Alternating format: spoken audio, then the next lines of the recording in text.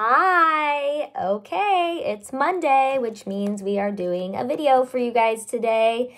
And two weeks ago, I went through insect repellent ingredients and I promised you I would go through insect repellent brands. So that is what I'm going to do today. We got a little sidetrack last week because I had to bring up the diaper drive, um, which I'll talk more about next week again. But today we're going to focus on the insect um, repellent brands. So like I said, um, ingredients were discussed two weeks ago, so look for that video to go over um, what ingredients I recommend and what I think is great, okay? So there are um, a few big brands that you're going to hear a lot about, which um, a lot of them have a, a good selection uh, within their brand of different, the specific ingredient you might be looking for. So Cutter is a big one, off-brand, Repel, Coleman, um, those are probably your big ones. And then um, a newer one, which is a more independent one, um, is Dr. Doug's, which you've heard me talk about that. So we'll go through that too.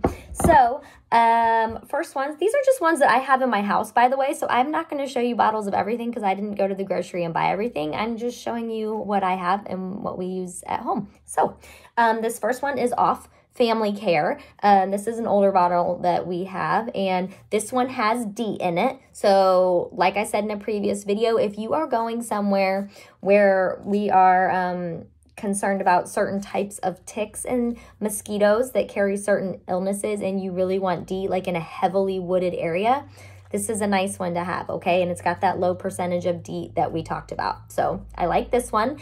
And um, off does have, um, I believe it comes in, it has like a brand that is just natural uh, botanicals as well, but this is the one that has DEET, just so you know, just so I can show you the example. Um, next, Repel, another brand you've probably heard a lot about. So this is the um, plant-based lemon eucalyptus. I love this one. Um, my kids don't mind it either. It, it does have a strong smell, a very like lemony smell, but I think this works really well. I know the lemon eucalyptus um, and the more natural ones get a little bit of mixed reviews, but my whole family has had great success with this one. So I really like it. Um, this is DEET free, just so you know, and it does not have um, picaridin in it either. And those are like the two main ingredients when you're going more in that deep woods area.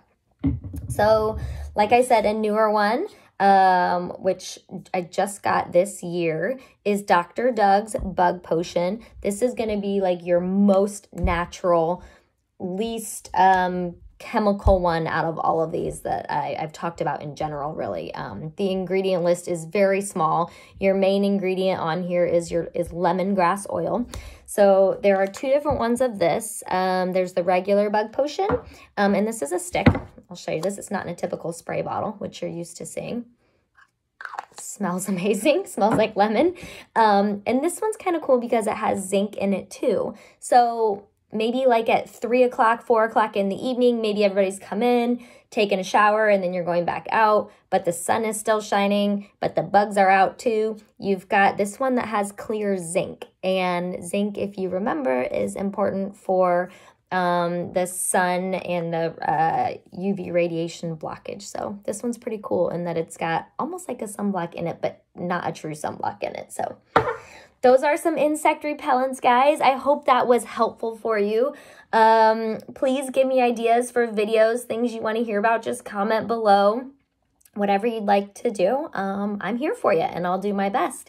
So we will be doing a video on cicadas when these babies pop through here pretty soon in the next few weeks. Um, I will be doing a video on these lovely creatures, so stay tuned for that.